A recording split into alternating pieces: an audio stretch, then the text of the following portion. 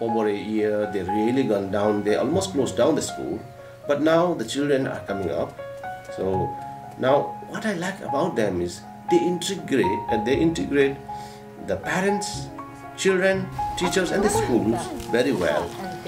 Whole societies are involved to raise the children and also management and leadership of the school is wonderful.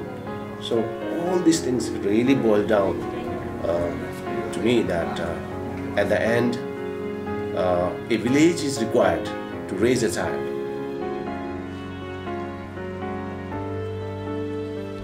And of course, I cannot forget the young leadership here. Our king keeps on insisting that to be a strong nation, we need a strong uh, youth.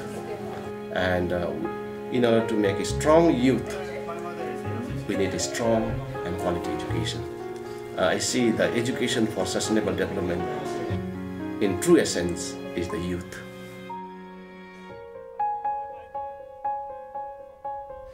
Uh, myself included, the younger generation can take what was created before from the older generations and kind of organize it within ourselves, um, add our own flares, add the kind of the, the modern um, taste to it, and we can kind of create our own lifestyles here in Omori, in this small town of Omori.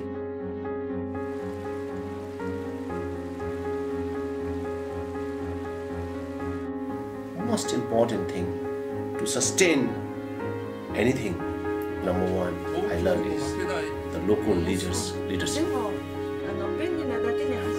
Number two, how the young leaders really participate in reviving anything else. In other words, young leadership is also equally important. Number third, of course, it goes without saying that government must provide a basic facilities like roads, electricity, and also now these days water, and of course uh, internet. Fourth thing, business communities participation in community development. What I learned here was that we don't need to keep building new and new things. Is that being able to maintain the tradition and the lifestyle here is what happiness is. We feel a lot of happiness for maintaining our history and our traditions here, but then we do include it in our daily lives, and I think that that's what everybody feels uh, very accomplished, and that's why they feel fulfilled here.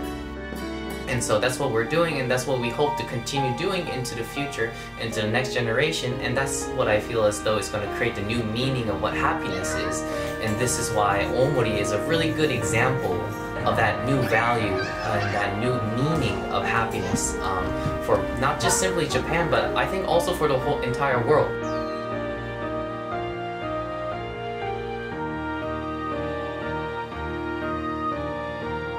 Not only me, all, all of us thought that this village uh, were left out after extracting, extracting all the silvers.